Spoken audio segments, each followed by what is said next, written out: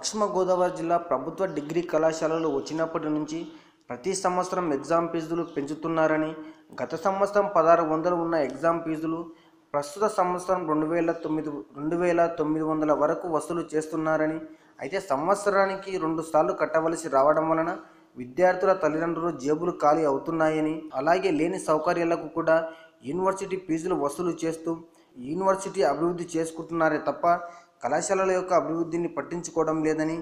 అయితే సర్సి ఆర్ రెడ్డి కళాశాల యాజమాన్యం గత కొన్ని సంవత్సరాలుగా విద్యార్థుల నుంచి యూనివర్సిటీ నిబంధనల ప్రకారం కాలేజీలకు విధించిన ఫీజుల కంటే అధిక వసూలు చేస్తున్నారని వీటిపై సమగ్ర విచారణ జరిపి సర్సి ఆర్ రెడ్డి కళాశాల యాజమాన్యంపై